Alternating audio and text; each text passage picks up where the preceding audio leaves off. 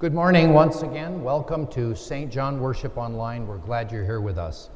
As most of you know, these services are taped ahead of time and we don't have any updates on the prayer list, but please keep track of St. John this week. You sent it out with each bulletin, and uh, please add these people or keep these people in your prayers. Deacon Lisa. The council is meeting this coming week, and we will do our best in letting all of you know what is decided on the decision about our regards to worship services. So please keep an eye out for that, and we, we hope to let you know as soon as we can. Yeah, and please keep praying for a wise decision on the, on the part of the council and all who are in, involved in this decision. Uh, it's sometimes not easy to discern what's the best approach to this, but we hope that what we do is uh, going to keep people safe and uh, allow us to worship too. With that, let's pause for a few moments of silence as we prepare to worship our Lord.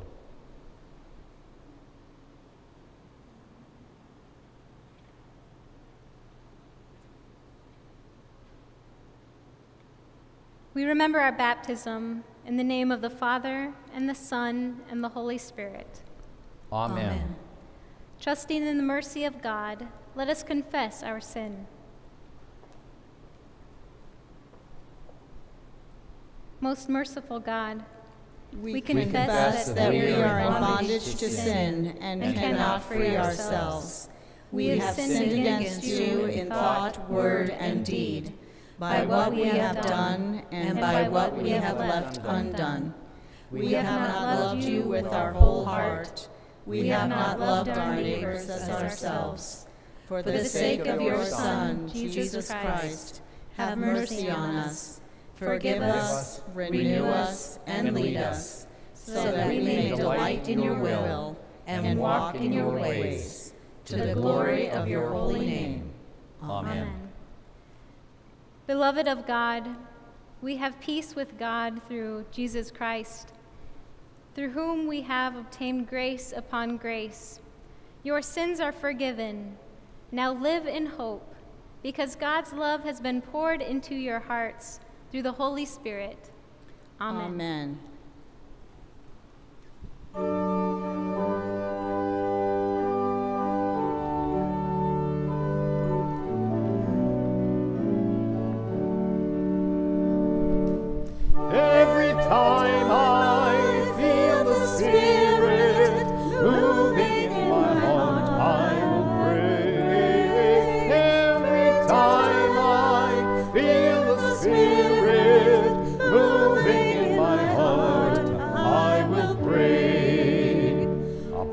somehow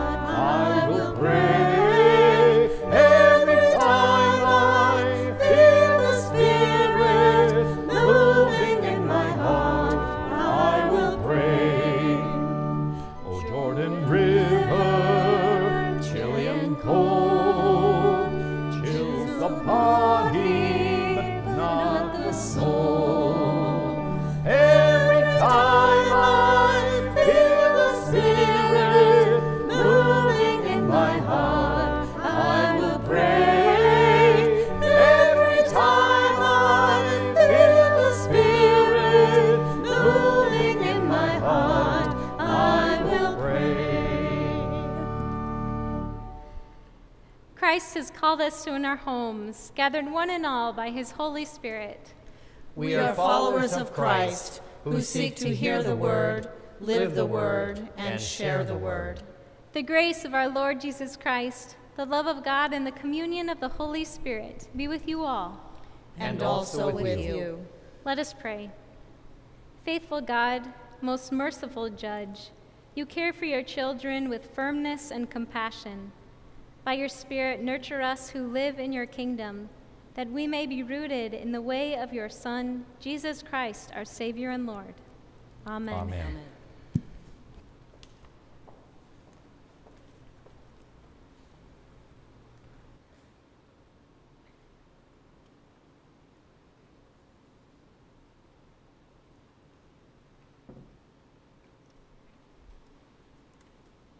There's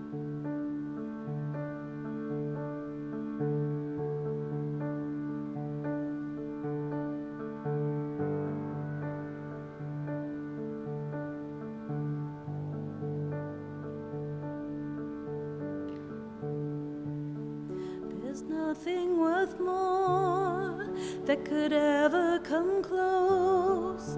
Nothing can compare. You're our living hope. Your presence, Lord.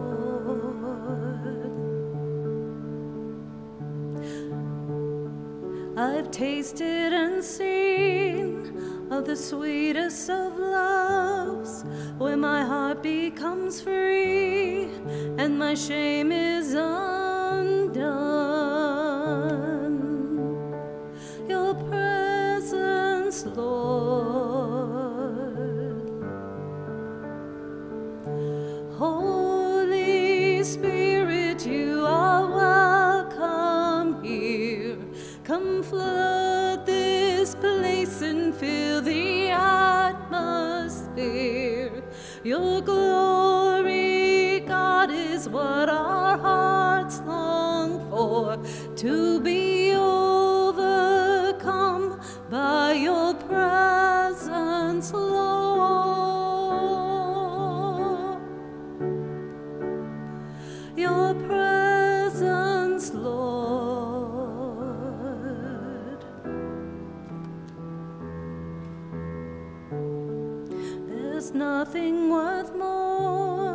that could ever come close. Nothing can compare. You're our living hope your presence, Lord.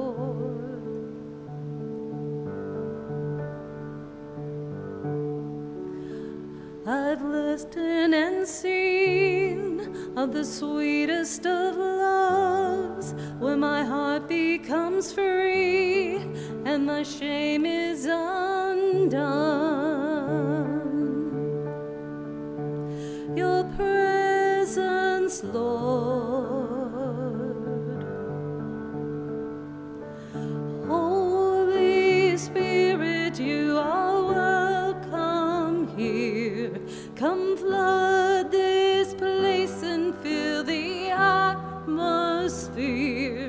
Your glory, God, is what our hearts long for. To be overcome by your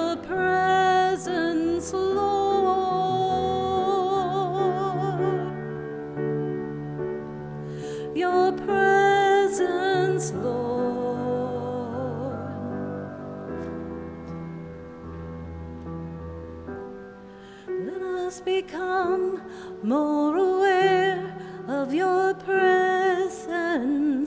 Let us experience the glory of your goodness. Let us become more aware of your presence. Let us experience the glory of your goodness. Let us become um, more aware of your presence. Let us experience the glory of your goodness.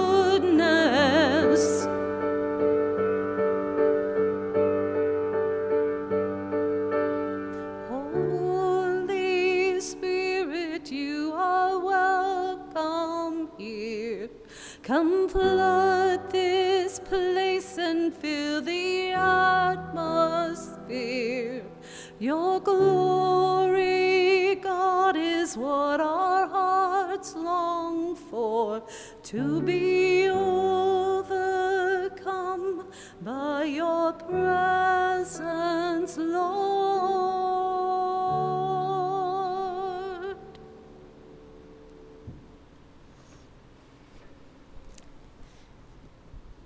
Thank you so much. Now it is time for the children's message. And I brought along with me a box. There's really nothing much to it, it's just like any other box. But it has something very, very important inside. And so, if you're ready, I'm going to open this box, and you're going to have to look really hard to see what's inside. Are you ready? Here we go.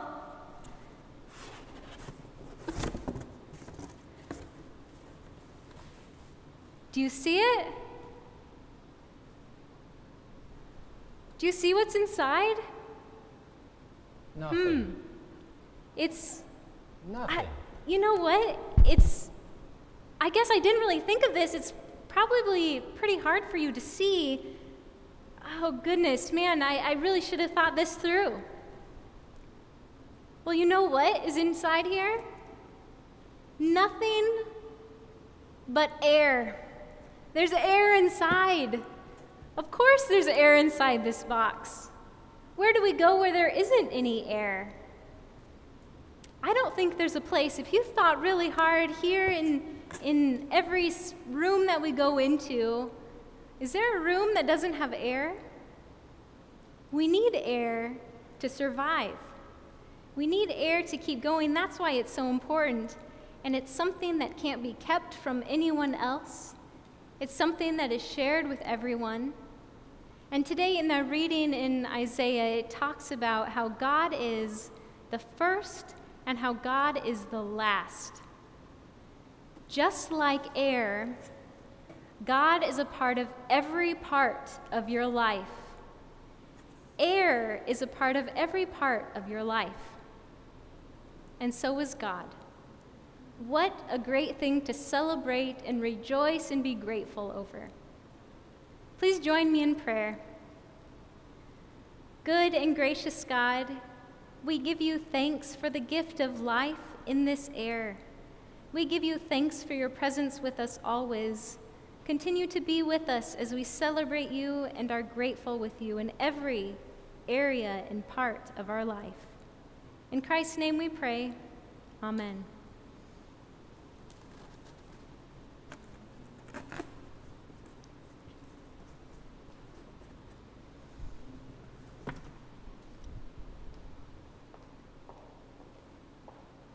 The first reading is from Isaiah 44, verses 6 through 8. Thus says the Lord, the King of Israel, and his Redeemer, the Lord of hosts I am the first, and I am the last. Besides me, there is no God. Who is like me? Let them proclaim it. Let them declare and set it forth before me. Who has announced from of old the things to come? Let them tell us what is yet to be. Do not fear or be afraid. Have I not told you from of old and declared it? You are my witnesses. Is there any God besides me? There is no other rock. I know not one. The psalm today is from Psalm 86. You may follow along in reading the indented portion. Teach me your way, O Lord, and I will walk in your truth. Give, Give me, an undivided heart, heart to, to revere your name. I will thank you, O Lord my God, with all my heart. And, and glorify your name forevermore. For great is your love toward me. You have delivered me from the pit of death. The arrogant rise up against me, O God, and the band of violent people seek my life. They, they have, not set you before their eyes. But you, O Lord, are gracious and full of compassion, slow to anger and full of kindness and truth. Turn to me and have mercy on me. Give, Give your strength to your servant and save the child of your handmaid. Show me a sign of your favor, so that those who hate me may see it and be put to shame. Because you, Lord, have helped me and comforted me. The second reading is from Romans 8, verses 12 through 25. So then, brothers and sisters, we are debtors, not to the flesh, to live according to the flesh. For if you live according to the flesh, you will die. But if by the Spirit you put to death the deeds of the body, you will live. For all who are led by the Spirit of God are children of God. For you did not receive a spirit of slavery to fall back into fear, but you have received a spirit of adoption. When we cry, Abba, Father, it is that very spirit bearing witness with our spirit that we are children of God. And if children, then heirs, heirs of God and joint heirs with Christ. If in fact we suffer with him, so that we may also be glorified with him. I consider that the sufferings of this present time are not worth comparing with the glory about to be revealed to us. For the creation waits with eager longing for the revealing of the children of God. For the creation was subjected to futility, not of its own will, but by the will of the one who subjected it, in hope that the creation itself will be set free from its bondage to decay and will obtain the freedom of the glory of the children of God. We know that the whole creation has been groaning in labor pains until now, and not only the creation, but we ourselves, who have the first fruits of the Spirit, groan inwardly while we await for adoption, the redemption of our bodies. For in hope we were saved. Now, hope that is seen is not hope, for who hopes for what is seen? But if we hope for what we do not see, we wait for it with patience.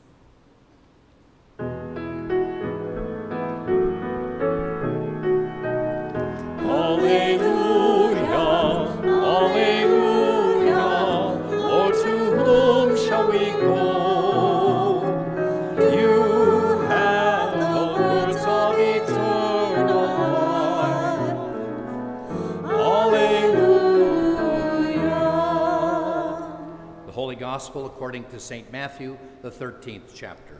Speak, Lord, your servants are listening. Jesus put before the crowds another parable.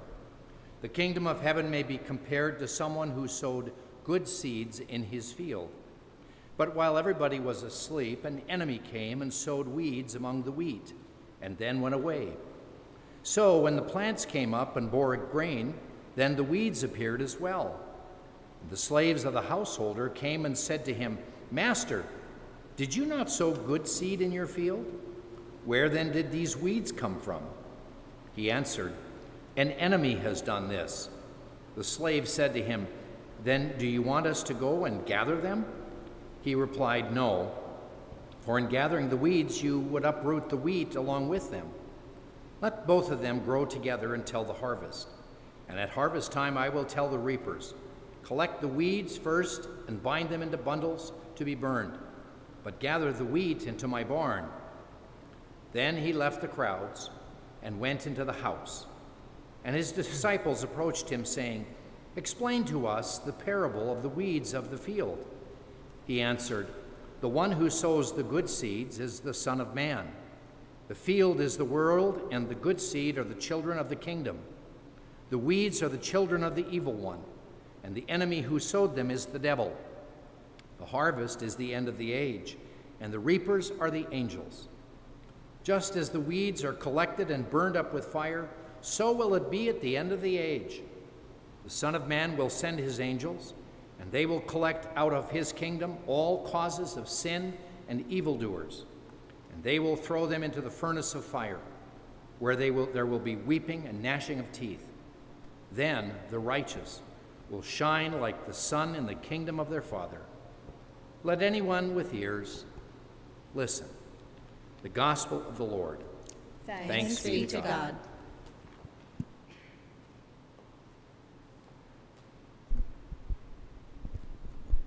This parable has caught my attention for a long time. I don't think anyone among us will argue that there are lots of weeds in this world. And uh, the closer we look even at ourselves, we might just might see the weeds within ourselves. But Jesus talks about how the weeds and the wheat, probably in early growth, are very difficult to discern one from the other. And uh, so you just keep them side by side. And uh, in many respects, the weeds are a sign that there is an opposition to what God is up to in the world, opposition to the kingdom. And the question that seems to be looming in this text is how do we, as Christians, as God's people, faithfully serve amid all the ambiguities of life? If you can't discern between good and evil, and you know, at times it's very difficult, um, how do we live life especially when you can't tell the weeds from the wheat. And maybe we have to, as Jesus says, just let them be for now.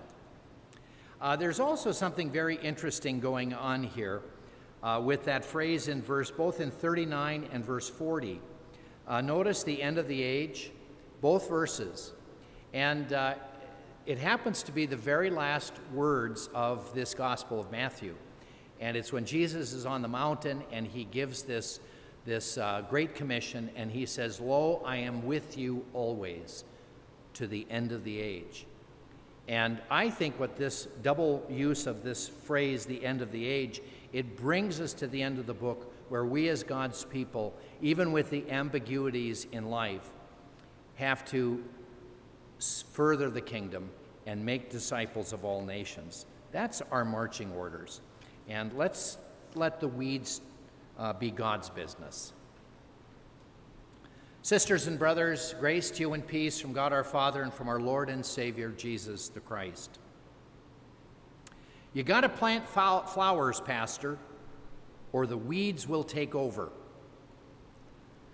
I couldn't have been a pastor for more than six months when I heard this simple yet seriously profound comment from one of my elderly par parishioners. Mildred had been legally blind since she had been no more than a toddler. Her mother must have struggled with some form of mental illness because every day when Mildred's father would go out in the field to work, her mother would force Mildred into the closet where she would spend the whole day until her father came home from the field. And then her mother, just before that, would take her out again. The father would not know. Was it because Mildred's mother was ashamed that her daughter's sight was so poor? Or perhaps was it some form of denial? You know, out of sight and out of mind. Lord only knows why this cruelty of her mother. But by some miracle, this little girl grew up and eventually moved to Omaha. She married, though the marriage wasn't picture perfect. Her husband could, at times, be somewhat controlling and maybe even abusive. But every Sunday, Mildred would be in church, smiling and seemingly not a care in the world. She was happy because she was worshiping. One day, I visited Mildred in her apartment. We talked for a little while when she stood up and motioned for me to come over to the window. And there they were, a planter's box filled with flowers in full bloom. Even with her diminished eyesight, Mildred could still marvel at such beauty. It was then she told me, You gotta plant flowers, Pastor, or the weeds will take over not pull the weeds up, which can be an exercise in futility, they keep coming back, and certainly not deny that the weeds are there. But you got to plant flowers. Even after all these years, I'm still marveling,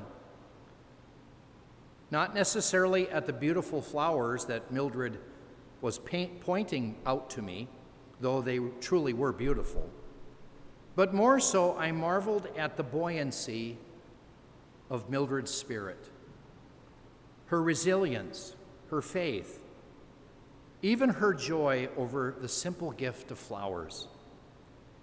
And all the while, her life was filled with weeds. How is it that she could put up with all those weeds? How could she be so patient, so tolerant? There was not a hint of denial in this woman. Mildred knew all too well of the painful, sometimes brutal realities of life and all its sharp edges. It's taken me some time to figure out that faith is not a denial of evil, and neither is hope. Neither faith nor hope deny evil. To be sure, there are those who claim to have faith, who claim to have hope, and all it is is simply a head in the sand. And when tried in the fiery furnace of life, what claims to be faith and claims to have be hope turns out to be bogus and fake.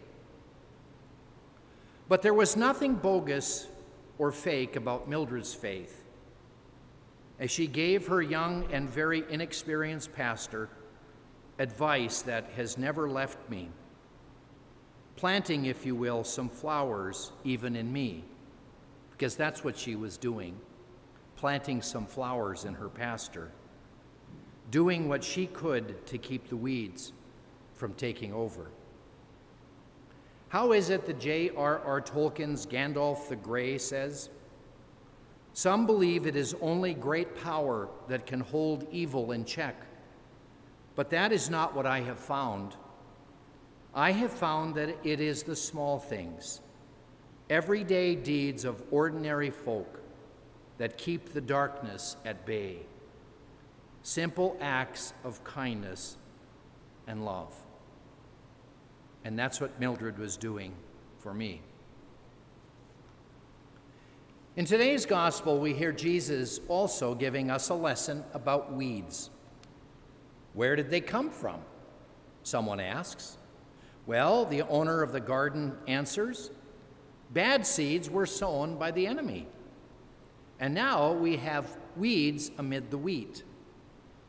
Of course, if we don't simply deny that the weeds are there or make light of them as, as if they're not that big of a deal, that is, until those weeds somehow start bothering us. Then they're a big deal.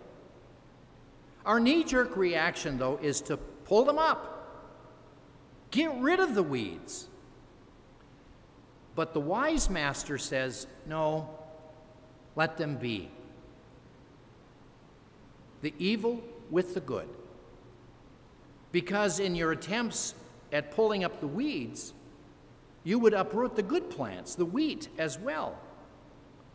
So let them be. Let them be until the harvest.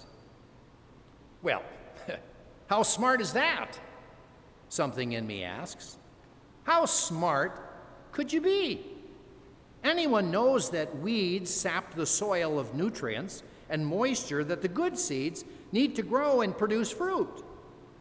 Common sense tells us get rid of the weeds.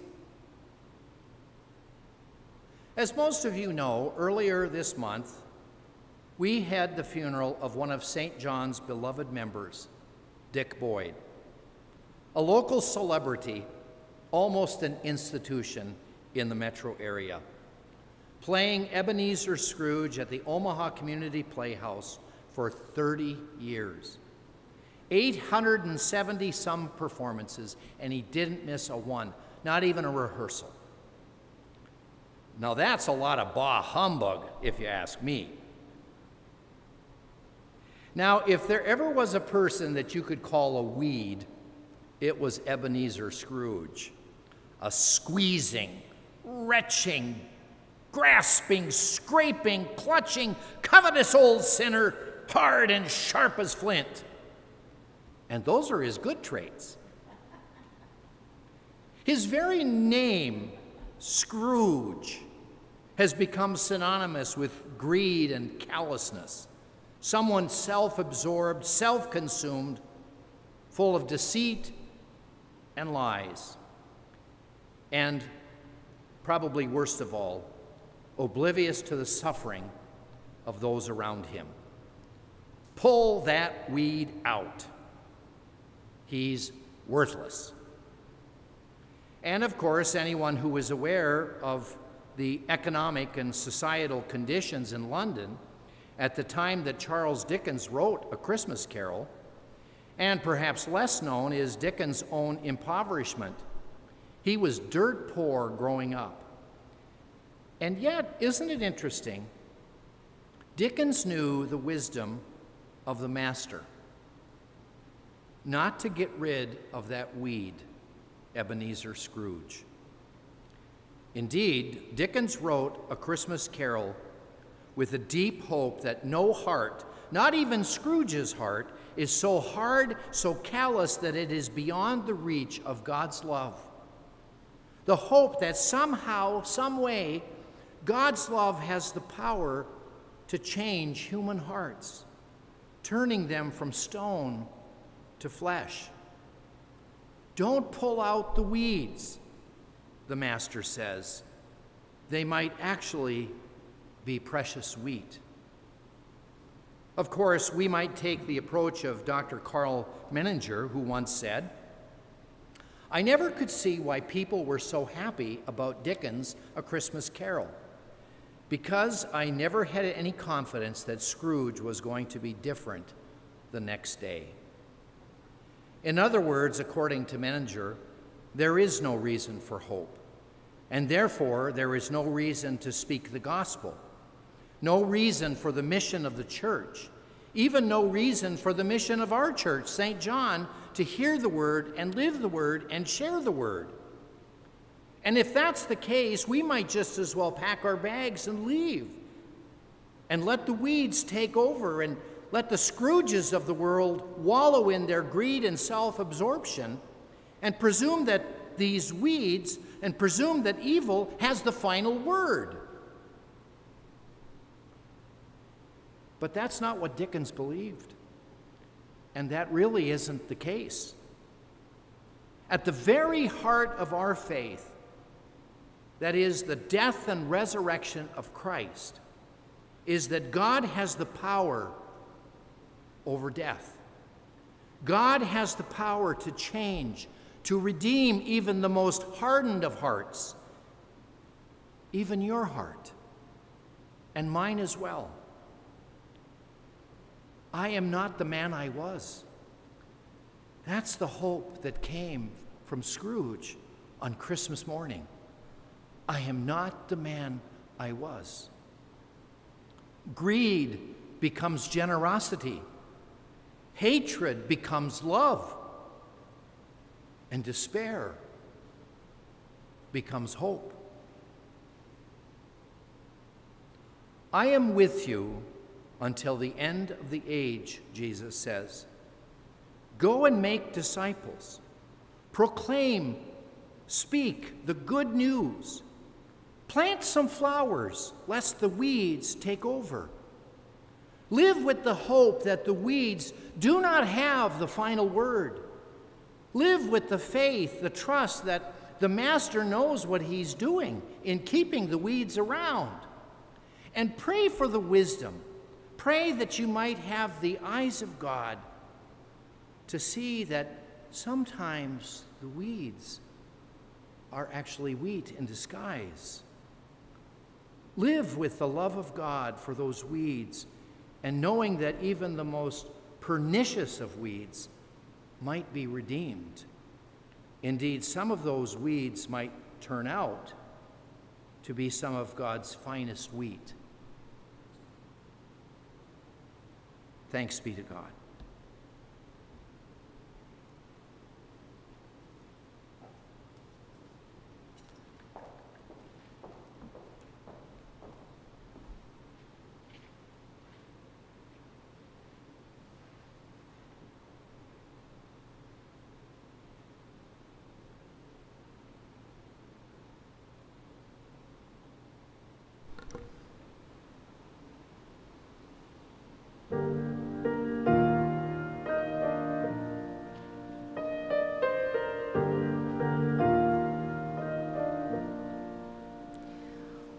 Waking up to a new sunrise, looking back from the other side. I can see with an open eyes, darkest water and deepest pain. I wouldn't trade it for anything. Cause my me to you. And these wounds are story you'll use. So I'm thankful for the scars. Cause without them I wouldn't know your heart. And I know they'll always tell of who So forever I am thankful for the scars.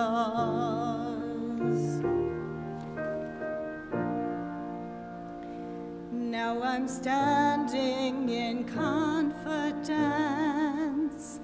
with the strength of your faithfulness, and I'm not who I was before. No, I don't have to fear anymore. So I'm thankful for the scars, cause without them I wouldn't know your heart. And I know they'll always tell of who you are. So forever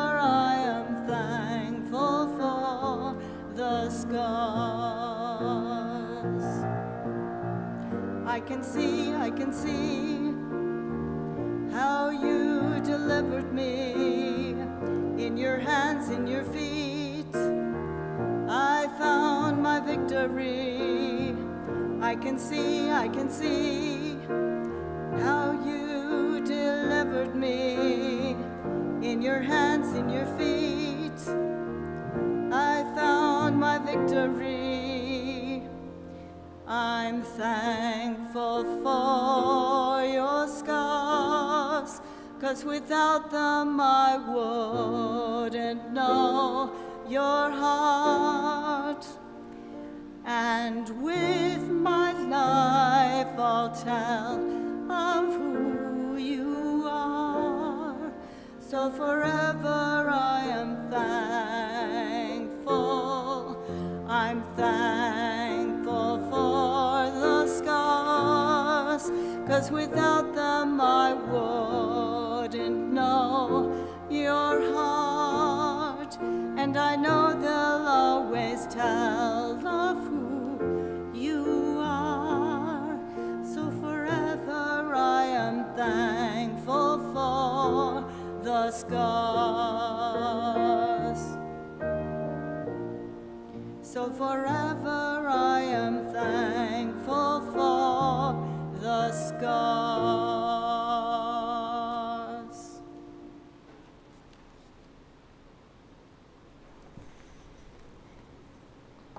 Thank you. Let us join together with the Apostles' Creed.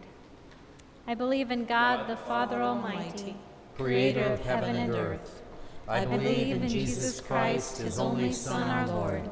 He was conceived by the power of the Holy Spirit and born of the Virgin Mary. He suffered under Pontius Pilate, was crucified, died, and was buried. He descended into hell. On the third day he rose again. He ascended into heaven and is seated at the right hand of the Father. He will come again to judge the living and the dead. I believe in the Holy Spirit, the Holy Catholic Church, the communion of saints, the forgiveness of sins, the resurrection of the body, and the life everlasting. Amen. For our prayers today, I will conclude each petition with, Lord, in your mercy, and you may respond with, Hear our prayer. Confident in your care and helped by the Holy Spirit, we pray for the church, the world, and all who are in need.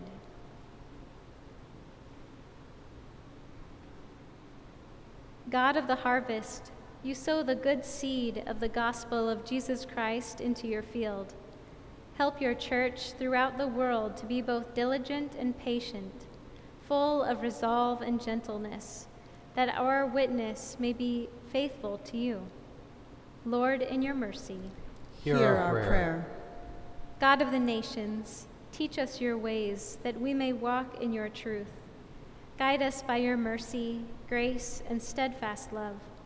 Lord, in your mercy, hear our prayer. God of hope, you accompany those who suffer and are near to the brokenhearted. Open our hearts to your children who are lonely and abandoned, who feel trapped by despair, and also who suffer in any way, especially Nancy, Ed, Wayne, Malvern, Dennis, Susan, Joyce, John, Betty, Margaret, Mary, Dale, James, Lucas, Jeanette, Karen, Dennis, Stevie, Margarita, Adam, Mary, Lila, David, Sharon, Phyllis, Jan, Scott, Jeannie, and Mary. Lord, in your mercy, hear our prayer. God of the seasons, in the midst of summer, give us refreshment, renewal, and new opportunities. We pray for those who cannot take the rest that they need. Lord, in your mercy, hear our prayer. In the certain hope that nothing can separate us from your love, we offer these prayers to you through Jesus Christ our Lord. Amen. Our Father, our Father who art in heaven, hallowed be thy name. Thy kingdom come, thy will be done, on earth as it is in heaven. Give us this day our daily bread, and forgive us our trespasses, as we forgive those who trespass against us and lead us not into temptation, but deliver us from evil. For thine is the kingdom, and the power, and the glory, forever and ever. Amen. As you go on your way, may Christ go with you.